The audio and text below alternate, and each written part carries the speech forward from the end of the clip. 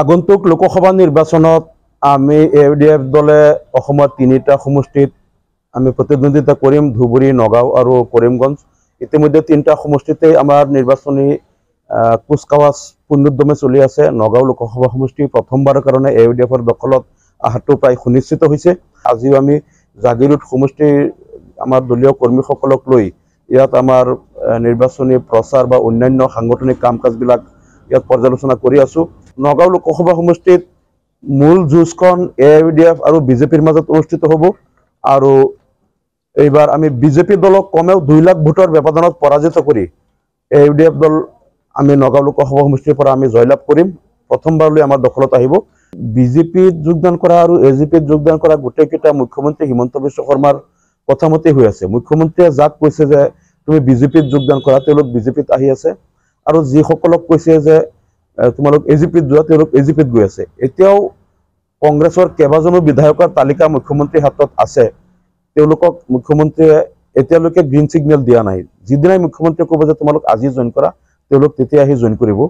মুঠৰ ওপৰত বৰ্তমান A P C C Assam Pradesh Congress Committee মুখ্যমন্ত্ৰীৰ উদৰত আছে আৰু মুখ্যমন্ত্ৰীৰ সম্পূৰ্ণ মুখ্যমন্ত্ৰীৰ কোলাত এ পি চি চি কোলাত লৈ ভৰিছে যাক যেতিয়া উঠাব লাগে নমাব লাগে সম্পূৰ্ণ মুখ্যমন্ত্ৰীৰ ইচাৰাত হয় আমি পূৰ্বেও কৈ আছিলোঁ যে যোৱা ৰাজ্যসভা নিৰ্বাচনত ৰাষ্ট্ৰপতি নিৰ্বাচনত কংগ্ৰেছৰ কেইবাগৰাকী বিধায়কে তেওঁলোকে ক্ৰছ ভোট কৰিছিল বিজেপিক ভোট দিছিল। ৰাজ্যসভা নিৰ্বাচনত প্ৰায় সাতটা আঠটা ভোট তেওঁলোকে বিজেপিক দিছিল আৰু ৰাষ্ট্ৰপতি নিৰ্বাচনত বাইশটা ভোট কংগ্ৰেছে বিজেপিক দিছিল। তেওঁলোকৰ চৌব্বিছজন বিধায়কী আছিল। চৌব্বিছজন বিধায়কৰ পৰা মাত্ৰ দুটা ভোট কংগ্ৰেছৰ প্ৰাৰ্থীয়ে পাইছিল বাকী বাইশটা ভোট তেওঁলোকে বিজেপিক দিছিল। মুঠৰ ওপৰত কংগ্ৰেছ দলৰ বিধায়কসকল হিমন্ত বিশ্ব শৰ্মাৰ কোলাত আছে এ পি চি চিৰ নেতৃবৃন্দ তেওঁলোকৰ লগত আছে যেনেকে ৰহাৰ শশীকান্ত দাস। তাত নাইণ্টি পাৰ্চেণ্ট মুছলিমৰ ভোট পাইছিল। শশীকান্ত দাস গৈ বিজেপিত উঠিল। আহ, আমি দেখিছোঁ কমলাক্ষ দেৱপ্ৰকাশ মুছলমানৰ ভোটত তেওঁ জিকিছিল। বস- বসন্ত দাস মুছলমানৰ ভোটত জিকিছিল। আহ, শিৱামণি বৰা মুছলমানৰ ভোটত জিকিছিল। মুছলমানে বিজেপিৰ বিৰুদ্ধে ভোট দি কংগ্ৰেছৰ প্ৰাৰ্থীক জিকাইছিল আৰু তেওঁলোক ডাইৰেক্ট বিজেপিত গৈ আছে। তাৰমানে কংগ্ৰেছক ভোট দিয়া মানে যে বিজেপিক ভোট দিয়া এই কথাটো এতিয়া প্ৰমাণ হ'ল। আৰু তেওঁলোকে এ ইউ ডি এফক বিজেপিৰ ভি টিম বি টিম বুলি কৈ ইমান দিনে তলে তলে তেওঁলোকৰ সকলো বিধায়ক এ পি চি চিৰ সভাপতি প্ৰাক্তন সভাপতি প্ৰাক্তন সাংসদ আৰু বিভিন্ন জিলা কমিটিৰ সভাপতি মানে কংগ্ৰেছ দলৰ এনেকুৱা এটা উইংছ নাই যে তেওঁলোকৰ মানে যিবিলাক বাঘা বাঘা নেতা ৰৌ বৰালি সকলো বিজেপিত গৈ আছে আৰু কিছুমানে বৰি দাঙি আছে মুখ্যমন্ত্ৰীয়ে ছিগনেল দিলেই তেওঁলোকে বিজেপিত যাব।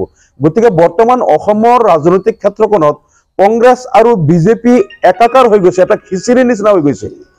এতিয়া যদি চাই কোন কোন বৰ্তমান চৰকাৰত মন্ত্ৰী অধিকাংশ কংগ্ৰেছৰ পৰা অহা বৰ্তমান বিজেপি দলৰ যিমান বিধায়ক আছে অধিকাংশ কংগ্ৰেছৰ পৰা অহা কোন কংগ্ৰেছৰ পৰা আহিছে কোন কংগ্ৰেছত গৈছে কংগ্ৰেছৰ পৰা কোন আহিব? বিজেপি আৰু কংগ্ৰেছে মিলি অসমত এটা এনেকুৱা ৰাজনৈতিক খিচিৰি এটা পকাইছে যে খিচিৰিৰ পৰা যেনেকে দালি আৰু চাউলবিলাক পৃথক কৰাটো টান হৈ পৰে বৰ্তমান অসমৰ ৰাজনৈতিক খিচিৰিৰ পৰা বিজেপি আৰু কংগ্ৰেছক পৃথক কৰাটো টান হৈ পৰিছে। গতিকে বৰ্তমান কংগ্ৰেছক ভোট দিয়া মানে বিজেপিক দিয়া বিজেপিক দিয়া মানে কংগ্ৰেছক দিয়া। কংগ্ৰেছ কংগ্ৰেছে যদিও তেওঁলোক মুখ্য বিৰোধী দলত আছিল। কিন্তু তেওঁলোকৰ যিহেতু এতিয়া নাইণ্টি নাইন পাৰ্চেণ্ট বিজেপিৰ বুকুচাত দি উঠিছে বিজেপিৰ মাজত বিলীন হৈ গৈছে। আপোনালোক নিৰাশ নহ'ব যিমান দিনলৈকে অসমত এ ইউ ডি এফ আছে সিমান দিনলৈকে বিজেপিৰ সাম্প্ৰদায়িক কূট- সাম্প্ৰদায়িক ৰাজনীতি আৰু বিজেপিৰ জনবিৰোধী ৰাজনীতিৰ প্ৰত্যেকটো তেওঁলোকৰ জনবিৰোধী স্থিতিৰ বিৰুদ্ধে এ ইউ ডি এফে আমি তীব্ৰ আমি প্ৰতিবাদ কৰি যাম আৰু মুখ্য বিৰোধীৰ ভূমিকা আমি এ ইউ ডি এফে কৰি যাম। অসমৰ ৰাইজ কংগ্ৰেছৰ এই বিজেপি প্ৰীতি বা কংগ্ৰেছ বিজেপিৰ একাকাৰ হোৱা খিচিৰি চাই অসমৰ ৰাইজ হতাশ নহ'ব। আমি মুখ্য বিৰোধীৰ ভূমিকা পালন কৰি বিজেপিৰ প্ৰত্যেকটো জনবিৰোধী নীতিৰ বিৰুদ্ধে আমি এ ইউ ডি এফে সদায় আপ্ৰাণ আমি যুদ্ধ কৰি যাম।